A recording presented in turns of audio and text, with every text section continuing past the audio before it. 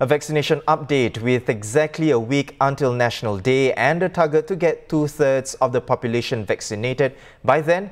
According to latest figures by the Health Ministry, as at July 31st, over 3.3 million people, or 61% of the population, are fully vaccinated.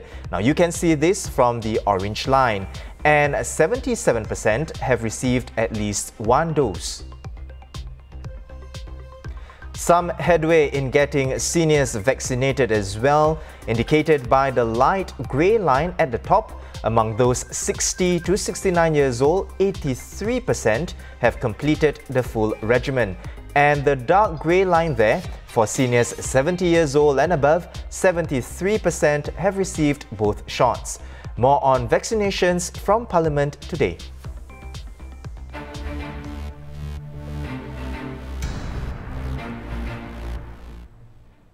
Senior Minister of State for Health Dr. Janil Puthucheary telling the House that each day about 1,000 seniors are signing up for their first doses. But that still leaves 21% of seniors 70 and up who haven't booked their appointments. This is six points higher than the general population.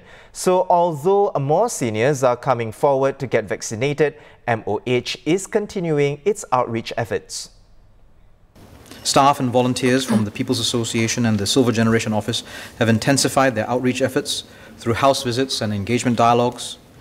They are trained and equipped with in an information kit to correct misinformation about mRNA vaccines and allay the fears of seniors.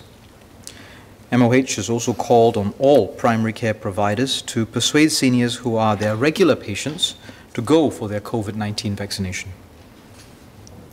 Our mobile vaccination teams have started to provide bed-bound and less mobile seniors with vaccinations in their homes or in the heartlands. This service has started in a few towns with a higher proportion of seniors and complements the main vaccination efforts at the vaccination centers, all of which are wheelchair accessible.